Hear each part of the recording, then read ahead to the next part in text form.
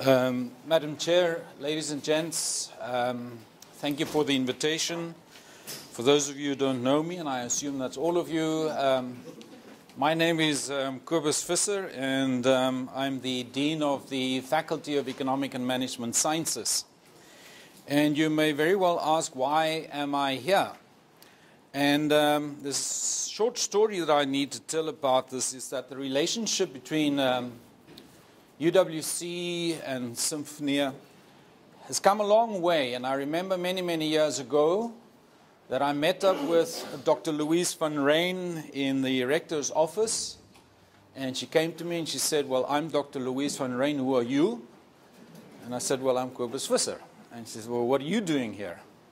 And uh, the result of that conversation is that after so many years, we still have this, this meeting and this kind of relationship. Um, why I'm very happy about that is that the rector, in his discussion, then thought it wise that the Faculty of Economic and Management Sciences should um, become the partner in the university with um, partners, principals, partners for possibility, or then the organization as we know it, Symphonia. And it's, someone, it's something which has developed into what it is today and it is something that we as a university certainly treasure. And we would like to continue with that as long as it is possible. Even if we do not have microphones here, we give you a new classroom. This is the most recent building on campus. It's the Chemical Sciences building, and here they do cutting edge technology and research into, into saving electricity into finding alternatives to, to uh, yeah, well, alternatives to Eskom or alternatives to fuel. So um, really, it's, it's, it's a good place to be as well. Um, we're very proud, as I said, to be associated with um, Partners for Possibility. And for the mere fact that it is an organization that goes beyond just ordinary profit making, in that it attends to matters which are critical to the well being of us as a nation and for you in the very important role that we do as educators of our nation. And that job we cannot stress enough. Um, this is a manifestation of being an engaged university. UWC prides itself on being an engaged university, that it has very close working relationships with the communities that it serves. And this is also a part of being an engaged university, and hence the reason why we put our weight and some of the resources that we have behind this, and the reason why we wish to continue with this. Another reason why I am excited to just briefly talk to you is for the fact that um, until the end of last year, or during the course of last year, there were 23 universities in South Africa and then we acquired two more, one in the Northern Cape and one in Mpumalanga. So now we have 25 universities. And those 25 universities are divided into three tiers or three groups. And tier three is merely teaching universities. And there are quite a number of universities in that category. And then we get tier two, which is a combination of teaching and research universities, and we get quite a number of institutions in that category. And then we have the highest tier, or tier number one, of universities in South Africa, and those universities have the distinction of being research universities.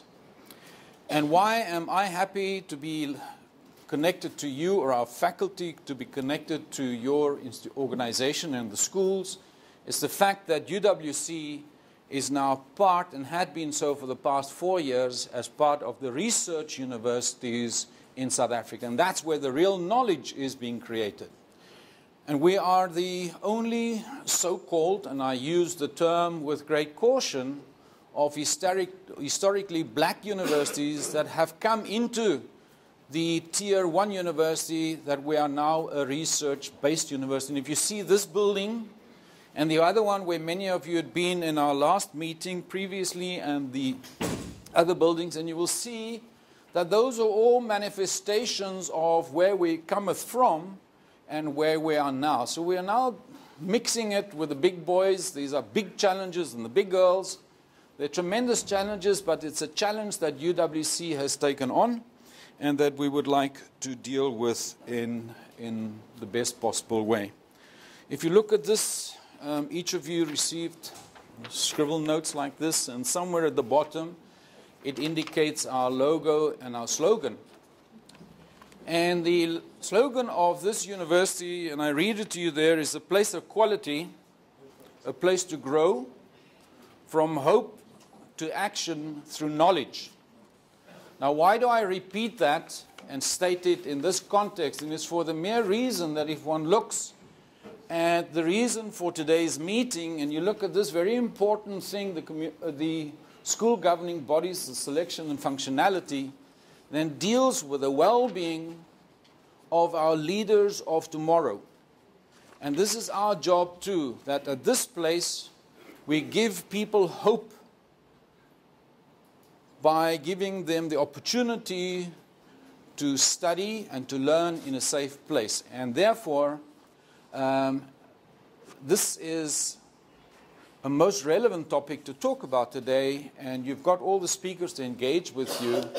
And I realize the importance now, thinking back of many years ago, when I also, I can't say the privilege, but I had the, the position of being a chair of a school governing body for a period of five years, and it was a relatively financially sound school.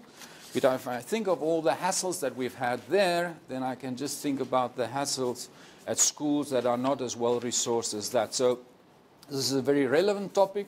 Thank you for being here. I hope that I will see many of you again at our next or your next um, meetings that you organize here at UWC. Uh, if there are um, principals from high schools, then uh, I'd like to make an appointment with you. I need to come and talk to you about your students and having them here next year and the year after that and the year after that. But I will engage with you in that. Thank you so much and all the very best with your afternoon.